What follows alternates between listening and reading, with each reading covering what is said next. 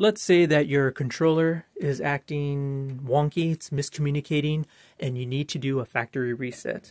So yeah, let's go ahead and do that. Uh, I just want to make uh, make you aware that with the factory reset, it is going to delete all the programming, all the mode modes that you have set for each device. So if you haven't done so, or if you need to, go ahead and go to each port and jot down the uh, the timers, the triggers.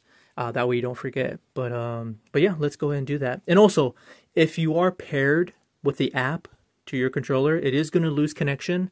So with uh, repairing uh, the app back there, I'll, I'll make another video and I'll try to link it down below on how to do that. But it's pretty much following the the same steps. You're just going to have to delete the device from the app, uninstall the app, and uh, and uh, download it again, and uh, you know pretty much follow the same steps like you first uh, first time you did when you got this controller. Um, but yeah, let's go ahead. So we're gonna press and hold down three buttons.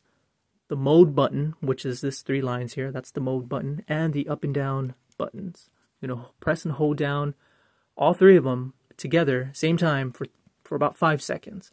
So let's press and hold that right now, and you'll see what happens to the screen.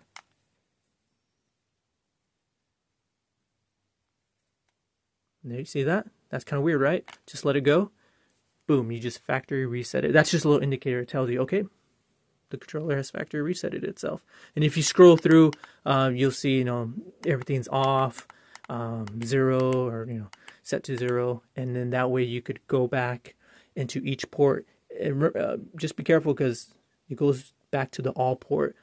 Press the port button to make sure the dot goes to the appropriate port of the device that you're trying to program and keep doing that for each.